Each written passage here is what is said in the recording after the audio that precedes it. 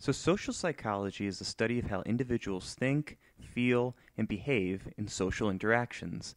You probably know intuitively that when individuals are in groups, they may act very differently than when they're alone. And if you ever wondered why, let's talk about some group processes and some of the ways that people change their behavior when in social situations. So, the first group process that we'll review today is conformity. So, conformity. Now, this won't be the first time you've heard about conformity, you've probably just known it by another name peer pressure. And conformity is a tendency for people to bring their behavior in line with group norms, and it's powerful in social situations. We use social situations, especially ones with peers, to determine what's acceptable, to question standards and authorities, and get feedback on behaviors. So it is important, especially for younger folks, to have positive peers. Because if the group's behavior is positive, then it can lead to peace, harmony, and happiness. But if the group's behavior is negative, it can be catastrophic. So, when behaviors are negative or wrong, why do people still conform to group norms? So, imagine you're part of a group and the group's been asked to train a dog. So, the group training the dog decides to train it with a shock collar, and you decide to agree. Now, according to social psychologists, there are two main influences that explain why you would conform with the group.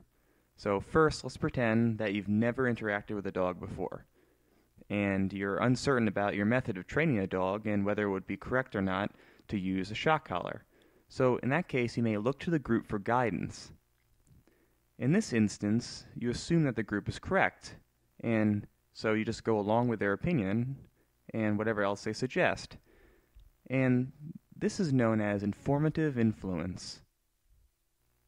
Now, let's pretend that you're an expert dog trainer, and you know that it's easier to train a dog with treats rather than using a shock collar. So, even though you know the group's method of using a shock collar is incorrect, you might still decide to go along with the group in order to avoid being a social outcast. And in this instance, you're conforming because of a normative influence.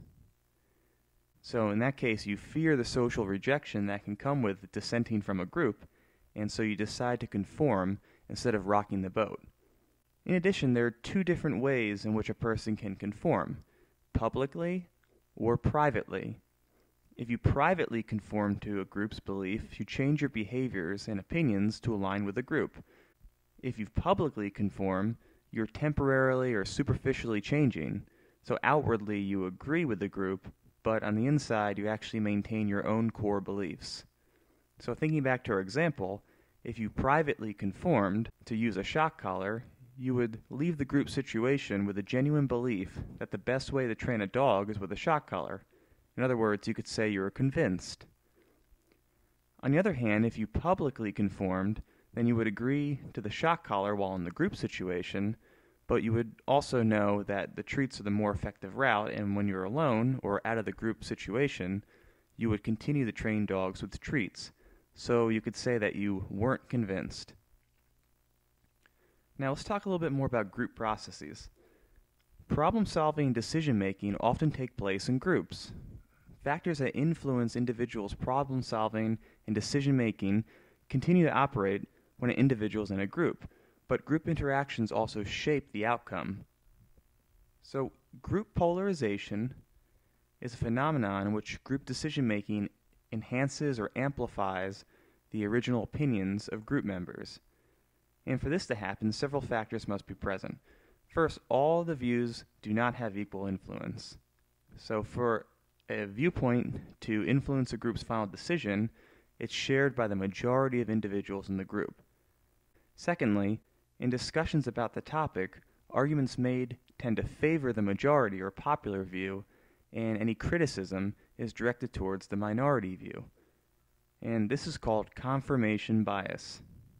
The group members seek out and reinforce information that supports the majority view. In this sort of atmosphere, the initial attitude or viewpoint is amplified by the group discussion, and sometimes a stronger version of the decision can be adopted. So going back to our dog training example, imagine that a group of individuals meet to discuss training a dog. the majority of the group agrees that training the dog with treats is the best way to go about it. Most of the discussions involve the benefits of training with positive reinforcement, and some group members very angrily chastise the advocates for the shock collar. The individuals leave the group discussion feeling more confident than ever that training their dogs with treats is the way to go. So their view of training dogs with treats has been amplified from that discussion. The last group process we'll talk about is groupthink. And this occurs when maintaining harmony among group members is more important than carefully analyzing the problem at hand. And it happens most often in very cohesive groups that are insulated from other people's opinions and feel that they are invulnerable. So groups susceptible to groupthink often have uh, very powerful, respected, or important leaders. And in the interest of group unity, members censor their opinions.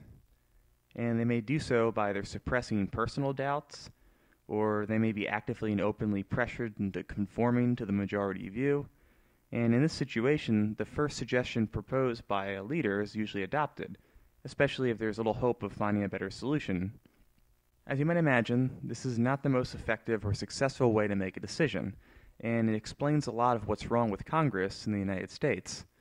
Now, by using our dog training example again, imagine that a group of individuals live in the same close knit suburban neighborhood. They decide to meet to discuss a dog that's been exhibiting some bad behavior. So the leader of the neighborhood says that they think the dog should be put down to avoid further damage to the neighborhood. Rather than argue with the leader and have a conflict, the neighbors agree that the dog should be put down instead of considering any other options to train the dog or some other sort of solution.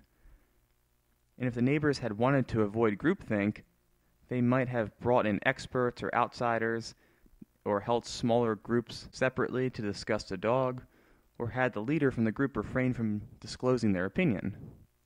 So, to review, conformity, groupthink, and group polarization are all processes that can occur when individuals come together in a group. They're not always positive, but can be if the group is positive, open minded, and willing to consider more than one opinion. In the next video, I'll talk more about groups and social behaviors.